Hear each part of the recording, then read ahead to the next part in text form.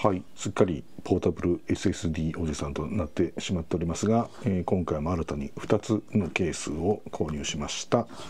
でね中身は、えー、今までと同じここ何回かね何個か買ってます。ファンシャンの S880 という M.2 のねえー、ものになります。PCIe4.0 なんでね、まあ、USB4.0 とかサンダーボルト4.0対応のものです。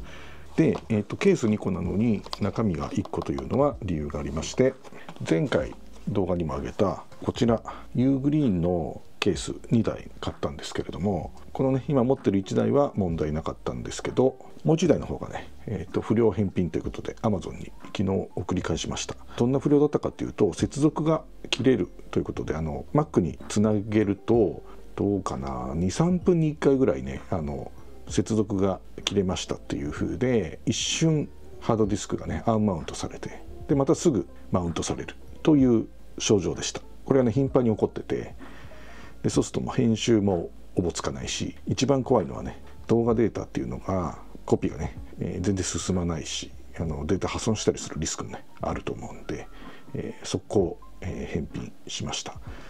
ということで、えー、1台、えー、ケースだけという形ですね。で、えーと、またね新たにね長期間でもないかなまあ12ヶ月ぐらいいろいろ撮影したり編集したりするっていう案件が、発生したのでもう1個 4TB の SSD を、買い足すという形にしました。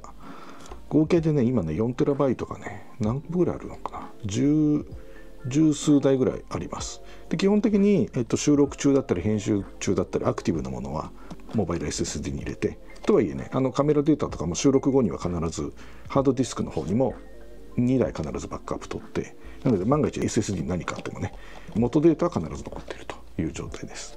で案件が終わったらデータ整理してまたアーカイブ用のハードディスクに残すという感じですね。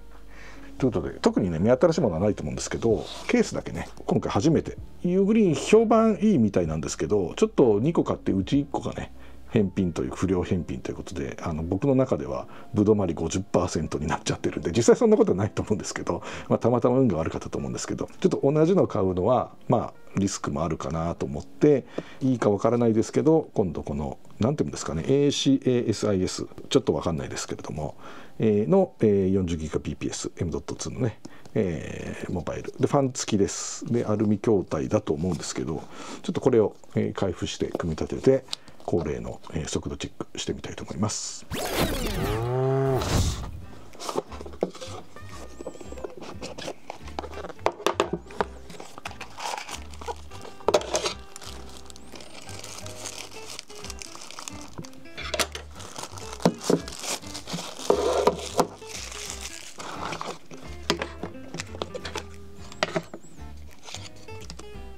なんだこれはちょっと今までにないパターンのパーツが入ってますけど何でしょうね。で USB ケーブルとシートが入ってます。ノブも入ってますね。基本はなんか工具なしでいけるらしいのでオープンかな。あすぐ取れましたね。ちょっと力入れていけました。でこれが何かっすよね。ちょっとマニュアルだけ見ときますね。はい、マニュアルはね英語もありますが日本語ページもありますね。組み立てはもう簡単で刺して、え、蓋閉めるだけみたいビスみたいなポーパーツで支えながらね。プラスチックのパーツは何なんでしょうね。ちょっとわかんないんですけどもしかしたらケースの足とか？書いてないですね。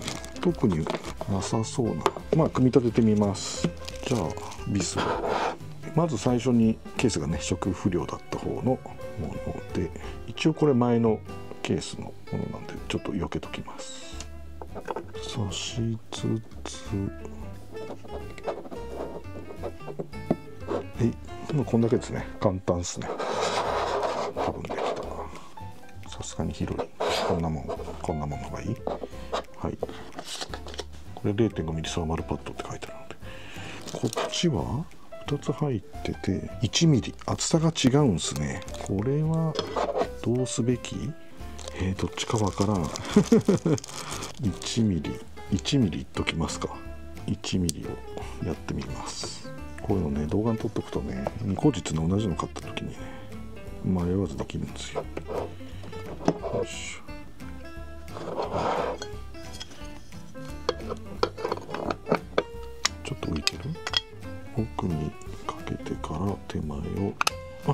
綺麗に締まりましたね。うん。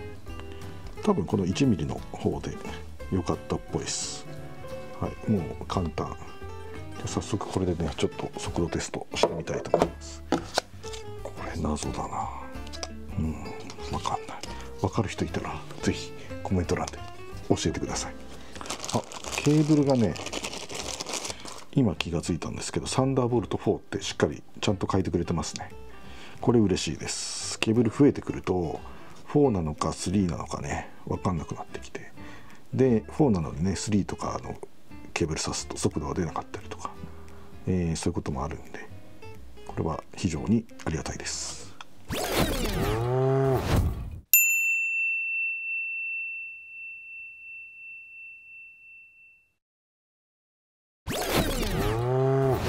いきなりねいい結果が出ましたけどこれケースねファンついてるんですけどめちゃめちゃ静かでほぼほぼ音聞こえないですね。他の音の方が大きいぐらいです。いくつかね買ってきた M.2 のねえー、モバイル SSD ケースの中では書店の印象としては、ね、今のところ一番いいかもですねこれね。またまあしばらく使ってみますが、えー、で今回のねゆっくりみたいにねまた何かあれば、えー、動画にしたいと思うんですけれども。はいということで今回は超短いと思いますがこんなところで。